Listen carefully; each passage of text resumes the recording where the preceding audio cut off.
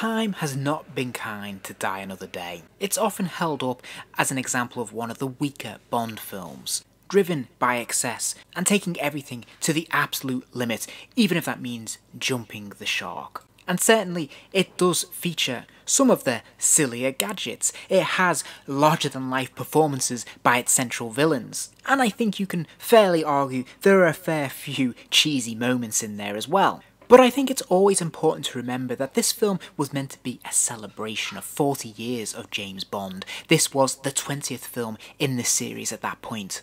And in a way, part of its remit was to take everything up a level, take it to the furthest extreme they possibly could, in order to mark and celebrate the franchise as a whole. And it's important to remember that the film was a massive commercial hit and it was by no means a failure in the way that history has remembered it. But at the same time, it is important to note that this film marks something of a watershed moment for the franchise. After Die Another Day, they would of course radically change direction. They would have cast a new Bond and there'd be a completely different tone and feeling for Bond films for the next 15 years. And one of the casualties of this change in direction would be the character of Jinx, played by Halle Berry, because this character was introduced with the intent to spin off into a sub franchise, a supporting franchise to go alongside James Bond. Of course, what that would have looked like, how it would have worked, how it would have been received, we will never know. But today I thought it might be fun to take a look at the only 1 6 scale figure ever produced of Jinx, made of course by Sideshow Collectibles.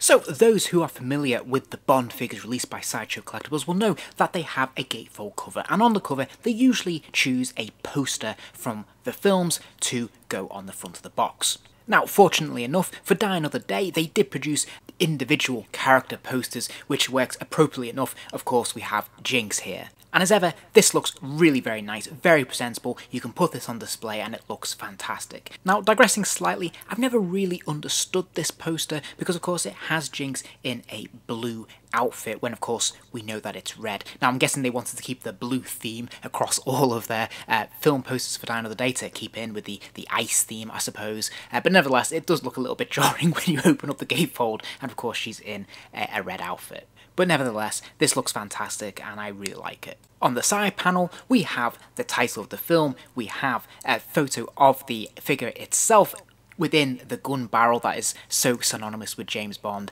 And this time it's in a sort of silver uh, colouring rather than being the traditional red or blue that's usually used on these figures. And uh, this looks, again, very, very nice. You can put these next to the other figures in the line. They stack very nicely on the shelf. And of course, each one is specific to that character. So this is a quite nice way of displaying your collection if you want to have them all on show at once. On the reverse, we have another photo of the figure there, but we also have some shots from throughout the film, and there's a fairly lengthy bio about Halle Berry and the character of Jinx. And when we open up that gatefold cover there, on the left hand side we have uh, information about the film, a uh, brief synopsis there, and we have the full cast list, which is a nice touch. Some of the surrounding artwork is taken from the title sequence, uh, so keeping with the theme, looks very, very nice, very presentable. And of course, on the right hand side we have that fantastic window display showing the character and the various accessories.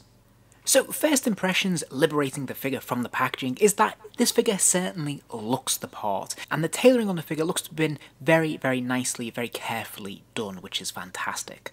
Now, the critical test for me with Sideshow Collectibles from this time is the head sculpt. As for me, this will usually make or break my final impression of the figure. Now, at first glance, I thought they'd done a pretty solid job with the likeness, but looking at it closer and comparing it with photographs of Halle Berry from the film, I'm not sure they've quite nailed it. Now, it's certainly not a disaster, I've definitely seen much worse in this series, but I've also seen a lot better as well. I certainly think that the head sculpt is close. There's definitely a very strong likeness, but I wouldn't say it's exact. I think if we look at Halle Berry's features, they're a lot more aquiline than we have in this figure, particularly in the upper cheekbones around the eye area. They seem to, uh, their face seems to be a little bit too wide on this sculpt. Also, the paint apps look a little bit sloppy. There's a little bit of smudging here and there, most noticeably around the eyeliner at the top of the eye there. And in the hair itself, I think they could have benefited from an extra wash running through just to uh, enhance some of the highlights. Uh, as it is, it just seems to be one matte colour, which is fine, but it just it lacks a little bit of texture, I think. Now, in terms of the body sculpt, it is the standard female body sculpt that was used for most of Sideshow's figures at this time, so if you've owned one of them before, you will know roughly what to expect, but needless to say, it is a fairly generic shape and size, but I think this works perfectly well for Jinx, this looks pretty authentic and pretty decent. I think, as I said, the tailoring is probably the standout, this looks very nice, it looks very authentic, it has that uh, leather effect kind of material that's been used, uh, when you touch it, it has a quite a nice texture to it, and uh, all in all, looks very striking and as I said very authentic to what we see in the film. Now there is a caveat to this material in terms of it flaking uh, and becoming a bit worn over time and I'll touch on that a little bit more in a moment.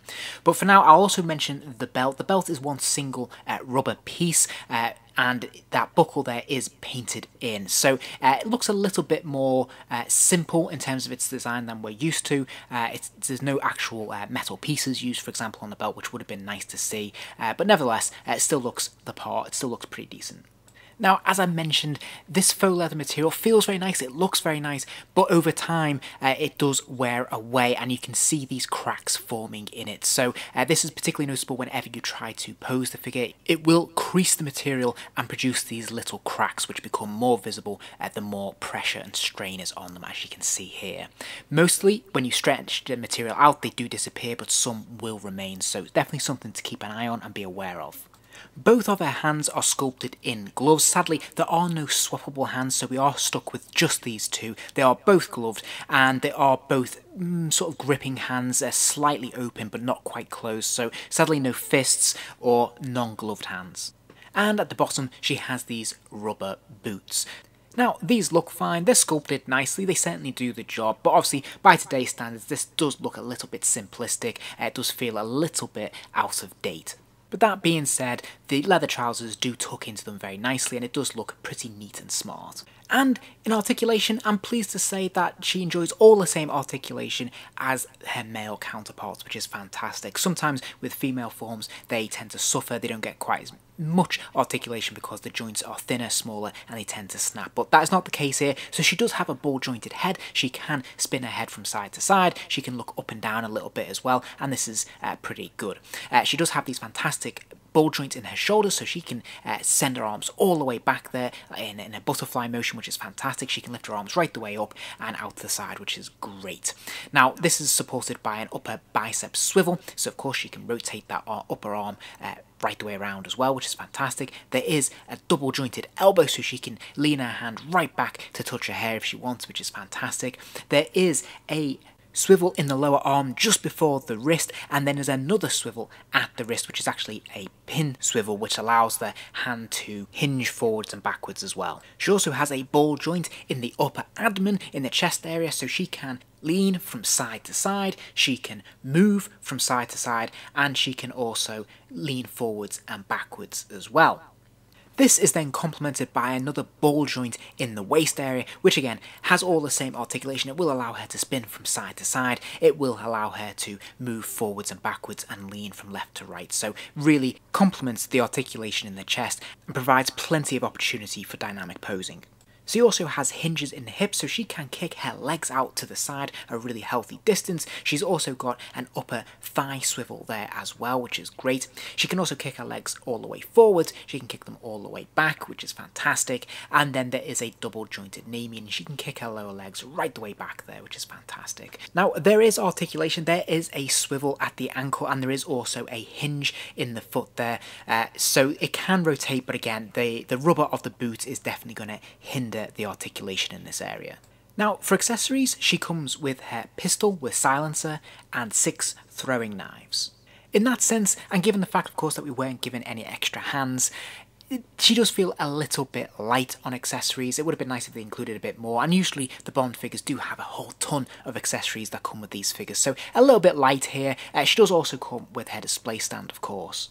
The pistol is very nicely painted as nice bright metallic silver. The barrel of the silencer does unscrew and you can pop it in or pop it out depending on uh, what effect you want to create. And there is a nice uh, paint application on the grip of the gun there and the handle. We see that brown which is nicely done. Now sadly the clip isn't removable though And although she grips the gun quite securely in her right hand, the trigger finger isn't quite long enough. Now you can just about get it onto the trigger, don't get me wrong, but it doesn't feel comfortable. It doesn't look quite right. Like you definitely have to stretch it to get it there, and it doesn't look quite natural if you're looking at it up close like this. I think the scaling of the pistol is just fractionally too large uh, for her grip and for her size, but nevertheless, from a distance, I think this still looks pretty cool.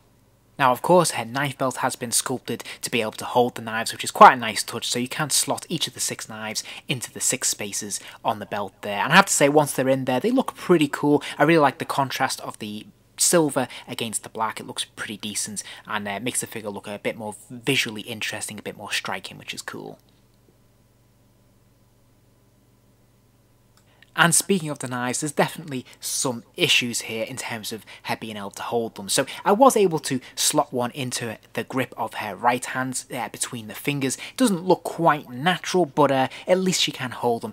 However, on the left hand, uh, there's absolutely no way she can grip these blades. They are very small, very thin pieces, and they would require a much tighter grip to be able to hold them. So uh, you are quite limited for posing it with the knives.